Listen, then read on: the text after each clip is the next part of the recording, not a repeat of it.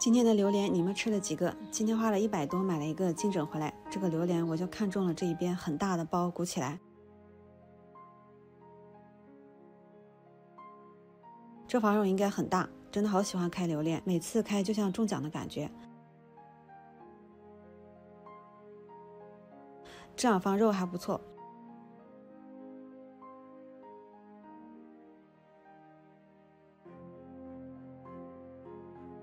这个就是最大的一坨肉了，真的是好大。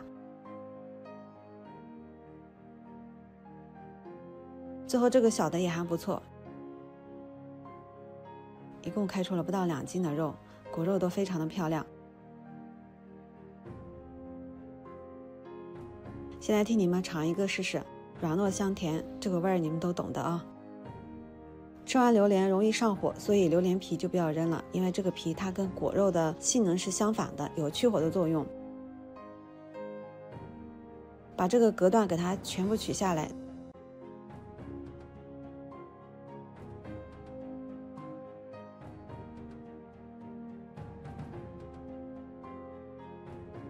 切成小块，清洗干净。放在汤锅里面，加入两升左右的清水，煮开转小火煮二十分钟左右。把煮好的汤汁过滤出来，再把汤汁倒回到锅里，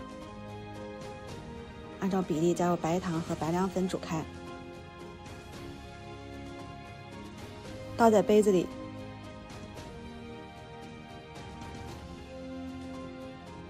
常温放凉之后转冷藏凝固就可以。再加点牛奶，戳一戳，这样一杯好喝的饮料就完成了。